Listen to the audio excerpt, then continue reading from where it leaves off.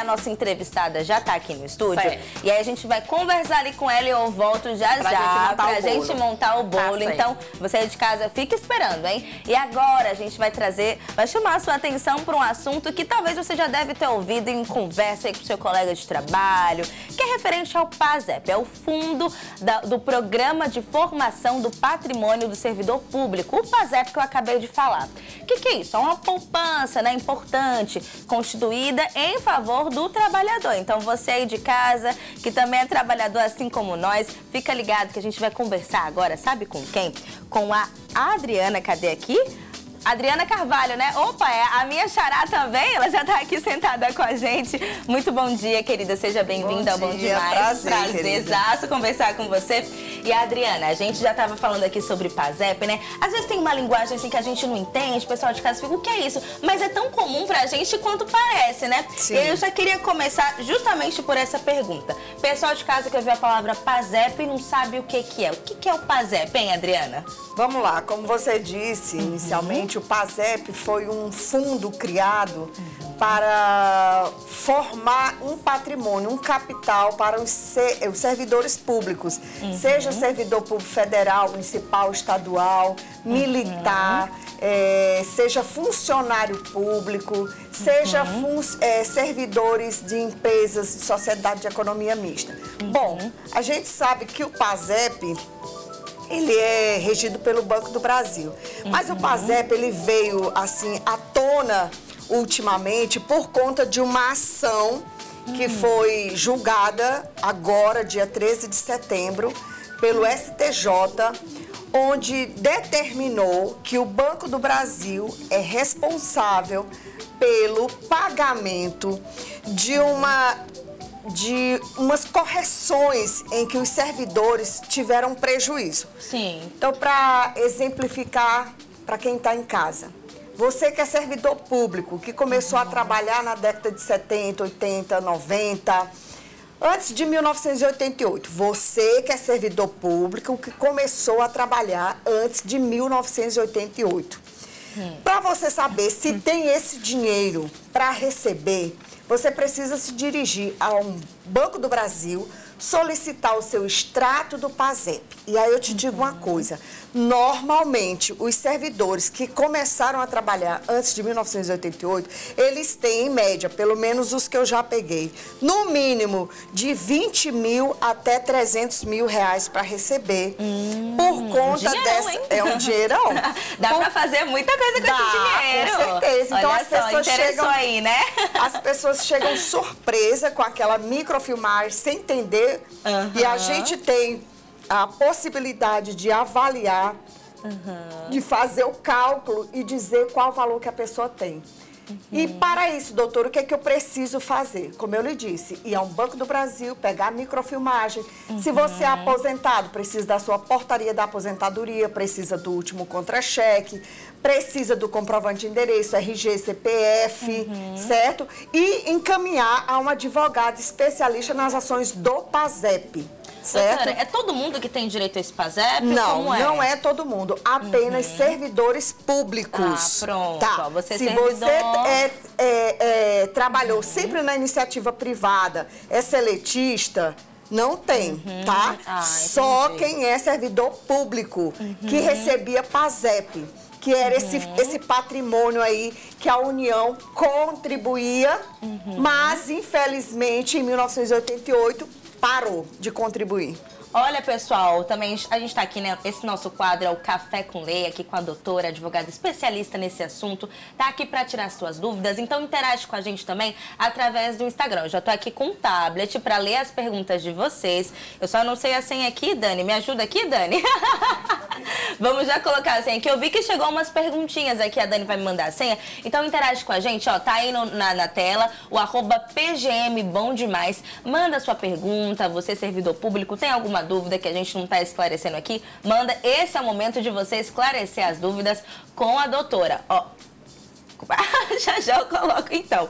Bom, doutora, só continuando, eu lembro que no começo aqui você falou sobre alguns erros ali envolvendo o Banco do Brasil, né? Sim. Que equívocos foram esses? O que, que aconteceu ali nesse comecinho? Muito bem. Em 2012, é, um advogado, eu acho que do Pernambuco, ele começou a fazer essas ações. E obteve êxito. Porém, e, em todo o Brasil começou a chover ações é, de correção do PASEP. E aí o Banco do Brasil, obviamente, entrou na justiça pedindo a suspensão dessas ações, alegando que não seria parte legítima, alegando uma série de coisas. Só que todos os processos em todo o Brasil ficaram suspensos. Houve uma uhum. decisão do Superior Tribunal de Justiça suspendendo todas essas ações. Uhum. Porém, repito, no dia 13 de setembro, agora, deste mês ainda, houve o julgamento deste recurso, que é um IRDR, né, que é um uhum. recurso de é, demandas repetitivas, e foi decidido que você, servidor, tem direito sim a receber a correção do PASEP que não foi repassada pelo Banco do Brasil, uhum. certo? Hoje, o, o, o, PASEP se juntou ao PIS e hoje uhum. nem sequer tem mais o PIS-PASEP. Eles, hum. é, é com verdade, a medida... sempre pro... houve junto, né? PIS-PASEP. Sim, PIS-PASEP, mas antes eram separados, tá? Hum. O PIS era um patrimônio formado para os, os empregados da iniciativa privada, os seletistas. Uhum. E o PASEP era para os servidores públicos, Banco do Brasil, Caixa Econômica Federal. Uhum. Foi juntado, certo? Uhum. Para patrocinar seguro-desemprego, patrocinar o abono salarial. Só que agora, em 2020, com a questão da pandemia, o PIS-PASEP todos esses valores foram revestidos para o, fu o Fundo de Garantia uhum. por Tempo de Serviço, que é o FGTS, tá? Então, uhum. assim, por causa da crise do coronavírus, todo o, o, volume de dinheiro, segundo a medida provisória 946, se eu não me engano, ele foi revestido para o FGTS. E aí, se vocês botarem a cabeça para lembrar, vão lembrar que as pessoas correram para o banco para receber seu fundo de garantia, que foi liberado. Aquele dinheiro era volumes que vieram do PIS-PASEP. Ah, perfeito. Certo? E a gente recebeu, ó, consegui desbloquear o tablet. a gente recebeu uma, uma pergunta aqui da Lucélia Claro. A Lucélia pergunta o seguinte, doutora. Doutora Adriana, estão dando entrada no PASEP dos servidores do Estado? Sim, servidor público, estadual, como eu disse, federal, municipal, militares tá? É, aposentados, os pensionistas também. Você é pensionista de, de, um, de, alguém que faleceu e era servidor público, você é herdeiro de alguém que faleceu e, e era uhum. servidor público, você tem direito, sim, uhum. de receber esses valores dos seus parentes falecidos. Uhum. E qual é o procedimento? Ela está falando aqui, entreguei as papeladas para o advogado, ele disse que não estava dando entrada. Nesse caso, então, não, não prossegue, né? Ó, ele não estava dando entrada? Então é porque talvez esse advogado é, uhum. estava esperando essa decisão que saiu agora recentemente. Uhum. Mas é bom que se dê entrada sim, porque foi julgado procedente, tá? E como é esse procedimento para dar entrada? Precisa de um advogado, né? Sim, precisa de um advogado e eu ainda recomendo que seja um advogado que tenha a possibilidade de fazer esse cálculo, tá? Uhum. É, precisa. Se o próprio servidor ainda estiver vivo, ele precisa levar contra-cheque, o último contra-cheque dele, precisa levar a portaria da aposentadoria, precisa ir ao Banco do Brasil, pegar sua microfilmagem, identidade, CPF, comprovante de residência, procurar um advogado da sua confiança e que seja especialista nestas ações do PASEP e dar entrada. E uhum. correr para o abraço, porque de fato já foi julgado procedente a ação. Perfeito. E doutora, e qual é o prazo prescricional? Vi que varia de 5, 10 anos, como é que muito funciona? Bem, muito bem, vamos lá. Uhum. É, quando o Banco do Brasil entrou com o recurso, ele entrou alegando que em todos os estados da federação havia divergências de julgamento. Uns juízes aplicavam o prazo prescricional de 5 anos, outros aplicavam de 10, outros diziam que só podia é, fazer essa correção da data de 1988, outros diziam que era da data que recebeu a microfilmagem. Então, toda essa confusão foi dirimida agora, no dia 13. Uhum.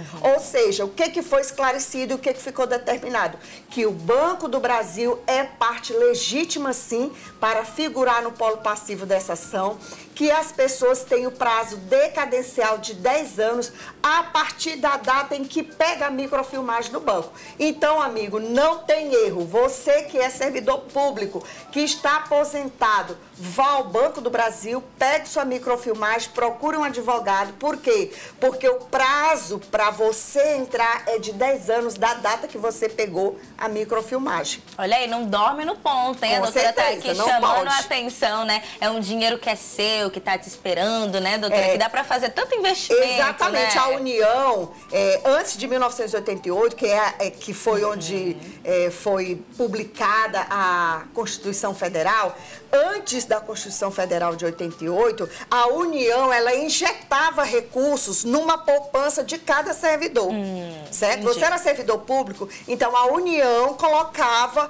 um valor ali na sua, na sua conta individual. Uhum. Com a Constituição de 88, não foi mais possível isso acontecer. Então, esse patrimônio que ficou até 1988, ele precisa ser corrigido, tá? E é essa ação. A ação é justamente corrigir aquele valor que ficou parado lá em 1988. Perfeito. Doutora, tem um outro termo aqui que eu estava vendo, que é sobre a revisão do PASEP. O que, que é essa revisão do PASEP? É justamente essa ação que a gente está falando. Hum. A revisão do PASEP é esta ação que tenta ah, é, atualizar os valores que ficaram retidos lá na sua uhum. conta vinculada em 1988. E aí você pode uhum. pensar assim, quem está em casa pode pensar assim, uhum. ah, mas eu me aposentei, eu recebi o PASEP. Sim, ótimo, perfeito, você recebeu o PASEP. Uhum. Só que você recebeu um saldo que não representa o valor que você deveria ter recebido, tá? Uhum. Por isso a necessidade do ajuizamento da ação. E tem também assim, você tá lá com saldo, você acredita que não seja aquele saldo. Tem como Sim. fazer uma correção? Como é que Sim. funciona? Essa correção funciona justamente quando a gente pega de posse da microfilmagem que você traz do Banco do Brasil, a gente coloca num simulador de cálculos, esse simulador de cálculos vai apresentar o valor devido que você uhum. tem é, para receber. Pessoal, continue interagindo com a gente aqui, ó, no, no Instagram, viu? Arroba PGM, bom demais. Tá ali na tela, eu tô aqui com o tablet esperando a sua mensagem. Aproveita que a gente tá tirando todas essas dúvidas. É o seu direito, é você aí de casa. A gente tá com uma advogada aqui que pode também lhe atender, lhe ajudar. Se você quiser procurar advogada, qual é o seu Instagram, doutora? Para o pessoal te procurar também? Adriana Col. Adriana uhum. com Y, C-O-L. Uhum. Adriana Col. E você tá? presta toda assistência nessa área, né? Sim. E se você, porventura, uhum. não tem condições de pagar um advogado particular, eu, eu gosto de uhum. enfatizar sempre Natália, né? Sim. Que as pessoas podem se dirigir à Defensoria Pública da União, é, uhum. Defensoria Pública do Estado, a pessoa pode se dirigir à própria OAB, pedir uhum. assistência gratuita, tá? Ah, bacana. Mas assim, o que não é, o que não se deve deixar passar é o seu direito. Se você foi servidor público antes de 1988, corra, vá a uma agência do Banco do Brasil, peça a microfilmagem do seu PASEP, procure um advogado especialista nas ações de correção do PASEP e vá receber sua mini fortuna. Importantíssimo, porque a gente estava no nosso bate-papo, que é o café com lei, aqui com a doutora Adriane, e eu já recebi uma outra mensagem aqui dos nossos telespectadores, você que está assistindo a gente, interaja com a gente pelo arroba PGM Bom Demais. Olha só, a gente recebeu uma pergunta, doutora, da Kelly Souza. A Kelly pergunta o seguinte, Natália, pergunta à doutora se tem limite do salário do servidor público estadual, se é para o servidor que ganha qualquer valor. E aí, doutora? Sim, o servidor público, para ele saber realmente se tem esse valor, é como eu te disse, é indispensável ir a uma agência do Banco do Brasil e pedir a microfilmagem, uhum. tá? Porque antes de 1988, é, era, inde, era independente de salário o valor que era depositado nessa conta dos servidores. Então, assim, depois foi que passou o PASEP para servidores que ganham até dois salários mínimos. Mas o importante para dirimir as tuas dúvidas, para acabar com as tuas dúvidas, se o seu marido tem ou não, uhum. somente pesquisando a microfilmagem do PASEP. Tem uma outra pergunta também que a gente recebeu, é se pode sacar o, o PASEP de quem já faleceu, doutora? Pode, pode sacar o PASEP de quem faleceu. É preciso que os herdeiros, né, é, se dirija ao Banco do Brasil, já que é a agência responsável uhum. é, pelo PASEP, uhum. e aí Caso não seja possível de imediata entrega, os herdeiros podem entrar com uma ação é, de alvará para recebimento uhum. desses valores, tá? E desempregados e aposentados têm direito também? Bom, os aposentados, servidores públicos, como eu falei, uhum. é, os empregados de é, empresas públicas como Correio, que mesmo sendo seletista, eles também são considerados servidores públicos, eles também têm direito. E direito a pagamento duplo, o que é esse pagamento duplo? Tem esse direito? Bom, é, algumas ações de correção do PASEP se pedia esse pagamento em duplicidade. Uhum. Porém, os juízes eles estão concedendo apenas de maneira simples, ou seja, o pagamento corrigido, mas de maneira simples, não em dobro. Ó, a Valquíria tem uma pergunta. Oi, Valquíria. É, o meu cunhado trabalhava de... era policial. Sim. E ele já é falecido. Já a tem... esposa... E aí ela é pensionista. Sim, ela é pensionista. Aí a esposa tem que fazer o quê? Vai ao Banco do Brasil, pede a microfilmagem dele, que o banco pede um prazo para entregar, tá? Uhum, um prazo que varia de, 30, de 15 a 30 dias para entregar essa microfilmagem.